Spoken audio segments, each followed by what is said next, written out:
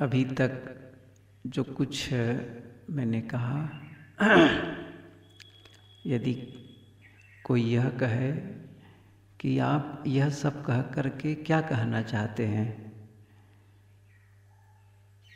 किस बात को बताना चाहते हैं? कौन सा संदेश देना चाहते हैं? तो बहुत थोड़े में यदि कहें तो वह है कि हम अपनी ज़िम्मेदारी लें।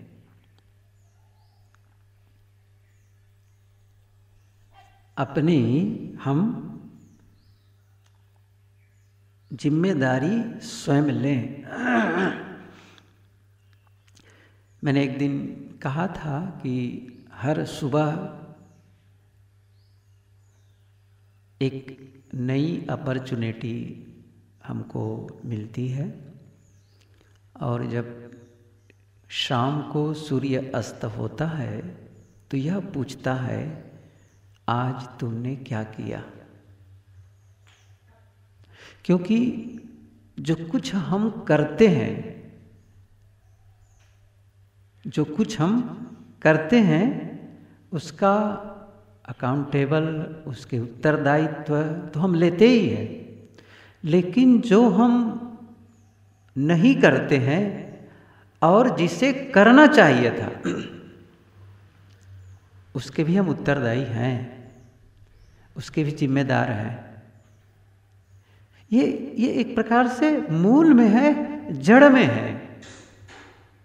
ज़िम्मेदारी, उत्तरदायित्व हर उस चीज़ की जड़ में है जो हम सोचते हैं, जो हम करते हैं, जिसकी कल्पना करते हैं जिसे हम अपने जीवन में हासिल करते हैं या जिसे हम हासिल नहीं करते हैं, ये क्यों है? अपनी ही तो ज़िम्मेदारी है। कोई दूसरे की थोड़ी ज़िम्मेदारी है ये। मतलब जो व्यक्तिगत उत्तरदायित्व हमारे व्यक्तिगत कार्यों की आधारशिला है, इस चीज़ को जिस दिन हम समझ लेंगे ना फिर तो बाकी बातें सब विस्तार की हैं। मतलब जिस दिन ये महसूस करेंगे कि मैं जिम्मेदार हूँ, ऑटो मोड में आ जाएँगे। मतलब फिर कहना नहीं पड़ेगा, पुस्तक पढ़ना चाहिए, ध्यान करना चाहिए, साधना करनी चाहिए, सेवा करनी चाहिए। ये क्या अभी भी हम केजी के विद्यार्थी हैं? जिसको ये बताना पड़े, ऐसा बैठो, वैसा करो, पुस्तक खोलो, पानी की बोतल वहाँ रखो। क्या अर्थ है इसका? कब तक के कोई हमको बताता रहेगा? मतलब किसी चीज़ को बार बार आपकी ही चीज़ है, आपको ही करना चाहिए, हमें ही करना चाहिए, उसको बार बार आकर कोई धक्का मारे, इसका मतलब क्या हुआ? इसका मतलब है, हमने अभी ज़िम्मेदारी नहीं ली है अपने जैसे एक बच्चा छोटा सा, अब छोटा सा बच्चा की क्या ज़िम्मेदारी सब कुछ माता पिता करते हैं, सब कुछ करते हैं, वो निश्चिंत रहता है। अब सुबह भी उठाना होगा तो माँ उठाएगी माँ उठाएगी। कपड़ा भी बदलवाना होगा तो वो करेगी, नहलाना होगा तो वो सब कुछ, टिफ़िन तैयार, वही करना है। वो निश्चिंत है। अब बचपना ही बीते वो बड़ा हो गया, जवान हो गया, फिर भी बचपना नहीं गया तो फिर कैसे बनेगा काम? इसलिए ये अपनी ज़िम्मेदारी हम स्वयं समझ लें। अब इसका मतलब नहीं कि कोई इसको कर्तव्य और बोझ मान ले। ये बहुत बड़ा बोझ लेकर चल रहा हूँ। नहीं नहीं। अब ऐसा नहीं कि जवाबदेही की पैमाना भी नहीं है। यह तो हमारे एक व्यक्तिगत संकल्प का आधार है कि हम जीवन को स्वीकार करें कि ये मेरा जीवन है और इस जीवन में जो सबसे बेस्ट है, इसमें जो संभावना है, उस संभावना को पाएँ। मतलब इस जीवन में जो सबसे बढ़िया क्या किया जा सकता है? आप सोचिए इस चीज़ को, आखिर हम क्यों आए? इस जीवन में भौतिक उपलब्धि ही सब कुछ नहीं है। इसका मतलब नहीं कि उसको नकारा जा रहा है। मतलब सबसे बड़ी उपलब्धि जिसके लिए बुद्ध ने घर छोड़ा, जिसके लिए महावीर ने, कबीर ने, संतों ने बड़ी साधनाएँ की, किसके लिए है? इस जीवन की जो उच्च अवस्था है उसे पाने के लिए। ये संभावना हर व्यक्ति में है। हर व्यक्ति में है। मतलब यह है कि जीवन को स्वीकारें कि मेरा जीवन है और उसमें उसे अनुभव करने के लिए हम प्रयास करें और उसे अनुभव कर ले जाएँ। ये उत्तरदायित्व का मतलब है। अब आप इसको ठीक से समझ लें। सीधी सी बात क्या है? जिस दिन हम सब पैदा होते हैं तो पैदा होने में, आसपास में कई लोग रहे होंगे। हो सकता है डॉक्टर रहे हों, कई नर्स हों, या फिर, माँ के पास में और भी महिलाएँ रहे होंगी। बहुत से लोग मतलब जब मतलब संसार के आगमन में सहयोग मिला, लोगों ने सहयोग किया, और जिस किसी ने भी हमारी पीठ थपथपाई हो। लेकिन जो पहली सांस है, ध्यान दीजिए, जब आप बाहर आकर जो पहली सांस लिए, ये किसने ली है? हम ही तो। वो पहली सांस लेने के लिए जो हमने प्रयत्न किया, स्वयं ने किया है। फिर अगली सांस, फिर अगली सांस। इसके लिए किसने मेहनत की है? खुद ने खुद ने। पहली सांस हमने ली है, दूसरी हमने, सहायता चाहे दूसरों द्वारा मिली हो। बात सही है, लेकिन अपनी पहली सांस अकेले ही हमने ली है। चाहे आपको कितना भी मदद मिली हो, वह पहली सांस अपने आप ली है। अगली सांस अगली सांस स्वयं। यह काम हमने स्वयं किया है। दूसरी बात मतलब हमारे लिए कोई दूसरा नहीं जो सांस लिया हो, हमने लिया है। और एक दिन तो ये आना ही है, क्या हम सभी मृत्यु, हम सबकी मृत्यु होने वाली है? ये तो निश्चित है, फिर क्या होगा? यदि आप ऐसे, कभी आप ख्याल करिए, कभी किस ऐसे व्यक्ति के पास खड़े हों जो अब तक मरने वाला हो। ऐसा हुआ हो तो कोई उसके हाथ को थाम के ज़ोर से रखे। तो क्या होगा? जो अंतिम श्वास है,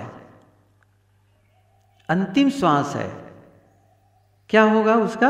अंतिम श्वास वह अकेले ही लेगा। और हम सब भी जिस दिन ये बात आएगी, हम अंतिम सांस भी अकेले ही लेंगे। जब आप हम सभी यहाँ से जाएँगे तो क्या होगा? जितने आसपास के लोग रहेंगे, क्या हमारे सहयोग कर पाएँगे? और जो कुछ उपलब्धि उसको छोड़कर जिस दिन जाएँगे तो फिर क्या होगा? इस धरती पर अंतिम सांस लेंगे, हम ही लेंगे और वह भी हम अकेले लेंगे। मैं फिर से कह रहा हूँ, सहायता के लिए कोई चाहे अब डॉक्टर आए हो, और बहुत से सहयोगी हो आँसू बहाने वाले लोग हो। मतलब यहाँ से हम अकेले जाएँगे, कोई साथ चलने वाला नहीं है।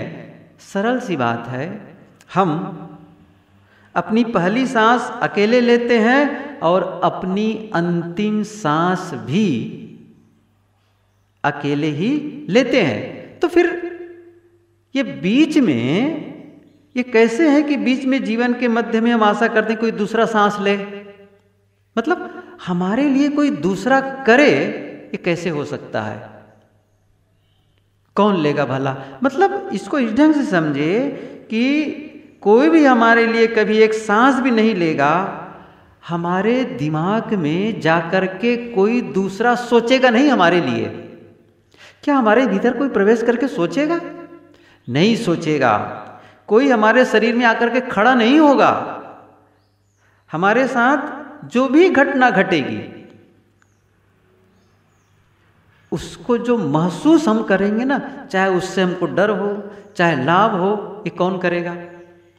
डर जो हम महसूस करते हैं, हमारे बदला कोई दूसरा महसूस करता है?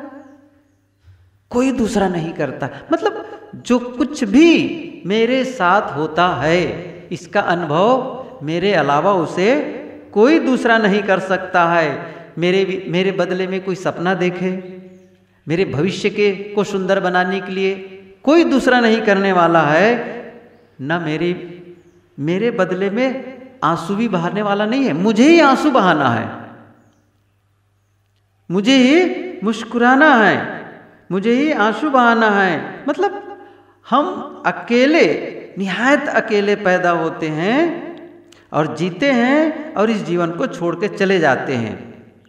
यह शरीर, यह मन और आत्मा हमारे पास है। देखिए, हमारे पास एक शरीर है, सबके पास में है, साथ में मन है, आत्मा तो वही है। अब इसके अलावा कौन है? और इसमें जो कुछ भी घट रहा है, इसको कौन महसूस कर रहा है? ये हम ही तो कर रहे हैं। तो कोई दूसरा कभी भी हमारे जीवन का एक पल भी हमारे लिए नहीं जी सकता है। मैं आपके बदले जी रहा हूँ थोड़ी देर के लिए। हमारे बदले कोई दूसरा नहीं जी सकता है। यह काम हमें आप ही करना होता है। यही उत्तरदायित्व है। समझ रहे यही उत्तरदायित्व है। अब इस चीज़ को समझ लेंगे, मैं अच्छा महसूस नहीं कर रहा हूँ। अब इसके लिए मैं क्या करूँ? मैं बदलूं? मैं बदलूं?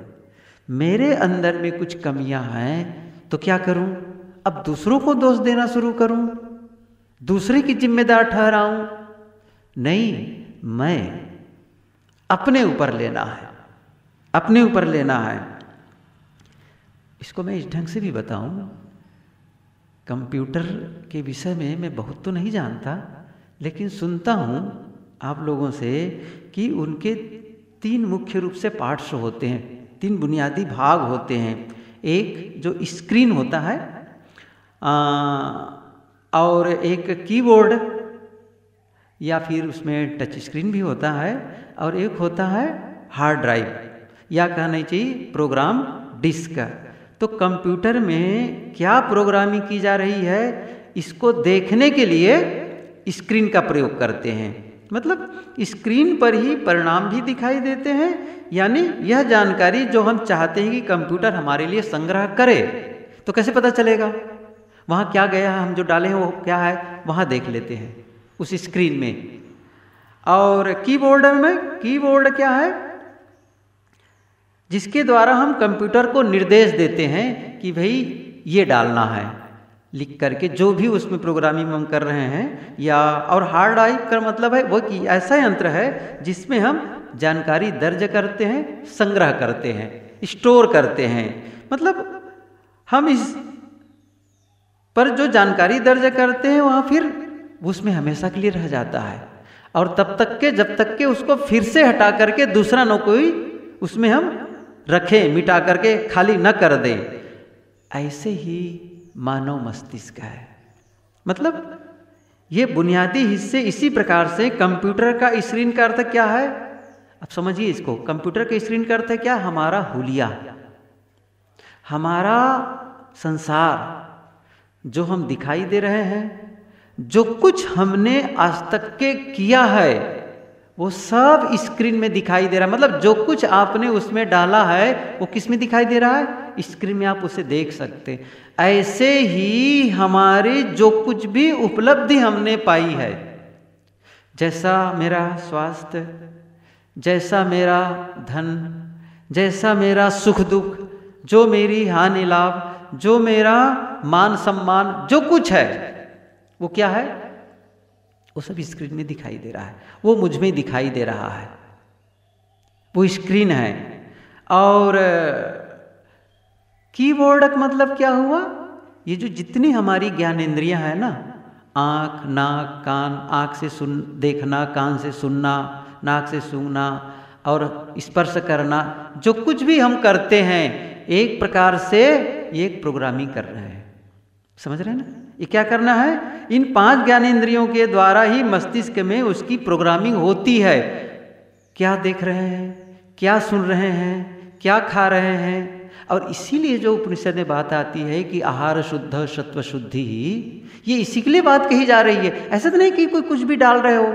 ये कंप्यूटर वालों का ही सिद्धांत है। गार्बेज इन गार्बेज आउट यदि कचरा डालोगे तो कचरा बाहर निकलेगा। जो इनपुट होगा, वही आउटपुट होगा। तो अभी जो आउटपुट हो रहा है, इसका मतलब क्या है? हमने वह इनपुट किया है। कीबोर्ड से हमने उसको प्रोग्रामिंग की है। मतलब उसके द्वारा भेजे गए प्रोग्राम की जानकारी हमने अपने भीतर जो अवचेतन मन है जिसको हम कह रहे हैं कि हार्ड ड्राइव या वो लोग क्या करते हैं और अन्य कोई मेमोरी डिवाइस प्रयोग करते हैं तो हमारे हार्ड ड्राइव, हमारा क्या हार्ड ड्राइव? मतलब हमारा अवचेतन मन। मेमोरी डिस्क क्या है? अवचेतन मन। जहाँ पर वो सब संग्रहित होता है, प्रत्येक अनुभव, हमारा प्रत्येक अनुभव हमारे अवचेतन मन में दर्ज हो जाता है प्रोग्राम हो जाते हैं। आप ख्याल करिए, आपने गलत टाइप कर दिया। ठीक है, गलती हो गई। अब आप उसको क्या कर रहे हैं? प्रिंट आउट ले लिए। अब प्रिंट आउट लेने के बाद जब देख रहे हैं, अरे, यहाँ पर क्या हो गया है? अब उसमें क्या होगा एक मात्रा का? जहाँ पर आपको कहा होना चाहिए, वहाँ पर हो गया है से। अब उसको क्या कर रहे हैं आप? अब उसको आप इरेजर लेकर के मिटा रहे हैं। या फिर उसमें कुछ ऐसा कलम से ठीक ठाक कर रहे हैं। अब ठीक हो गया होगा। अब ठीक हो गए कि फिर से प्रिंट आउट करें। तो क्या हो गया? आपने कहा ठीक किया? जो आपने कागज़ बाहर निकाला प्रिंट आउट करके, वहाँ आपने ठीक किया। अब क्या मान रहे हैं? अब ठीक हो गया। अब फिर से आप प्रिंट आउट निकालेंगे तो क्या होगा? सुधार कहाँ करना चाहिए? कागज़ में सुधार मत करो। कहाँ करना है? जहाँ आपने वहाँ गलत डाला है, उसे ठीक कर दो।